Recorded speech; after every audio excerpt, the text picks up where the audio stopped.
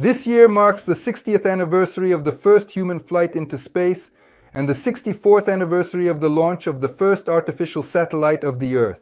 Following Yuri Gagarin, more than 500 people have visited near space, and thousands of artificial satellites orbit the Earth. But I think you will be greatly surprised to learn that the great English physicist Isaac Newton was the first to discuss the idea of an artificial satellite of the Earth more than 300 years ago in his book, Mathematical Principles of Natural Philosophy.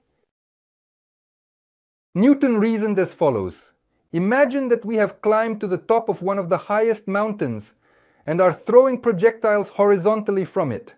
In this thought experiment, we will also assume that projectiles are not slowed down by air resistance.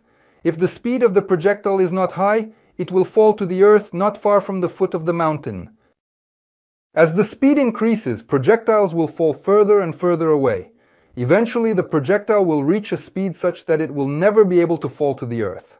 By deviating from a straight trajectory, it will move in a circular orbit at the same height above the earth. Such a projectile moving in a circular orbit is affectionately referred to by Isaac Newton as a little satellite. Therefore, Newton can rightfully be considered the grandfather of modern astronautics. Now let's calculate the speed at which a projectile moves in a circular orbit around the Earth. On one hand, all projectiles, regardless of their initial speed, fall to the Earth with the acceleration of freefall g. On the other hand, a projectile moving in a circle experiences centripetal acceleration, which is v2 divided by r. And it is obvious that this acceleration is imparted to it precisely by the force of gravity. So we can essentially equate g and the centripetal acceleration which is v squared divided by r.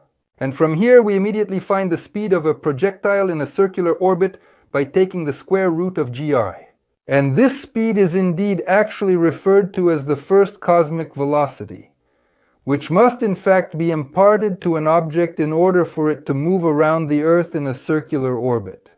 Now let's substitute the value of g with the rounded figure of 10 meters per second squared. The radius of the Earth is 6,400 kilometers, 400 kilometers. And we will find that the first cosmic velocity is 8,000 meters per second or 8 kilometers per second. 8 kilometers per second is a very high speed. It is 25 times greater than the speed of sound. To launch a spacecraft into orbit, it is necessary to build multi-stage rockets, of which up to 85% of the mass consists of fuel and oxidizer. The launch mass of the Soyuz 2 rocket is over 300 tons. At the same time, such a rocket can deliver 8 tons of payload to a low Earth orbit.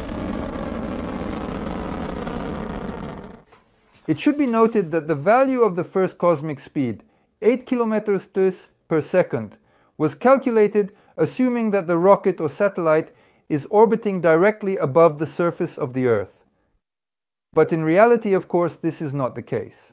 The rocket must exit the Earth's atmosphere, meaning it needs to rise to an altitude of several hundred kilometers above the surface of the Earth.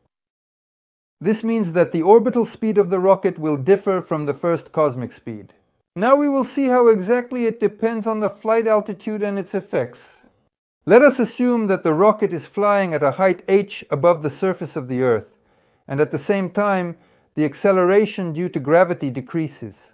According to the law of universal gravitation, it is inversely proportional to the square of the distance to the center of the Earth. And if we simply substitute r and g into this formula, we will ultimately obtain this final result. The orbital speed of a rocket is lesser in magnitude, the higher the orbit of our satellite or any other spacecraft, such as in general. And so we have obtained at first glance a very strange result.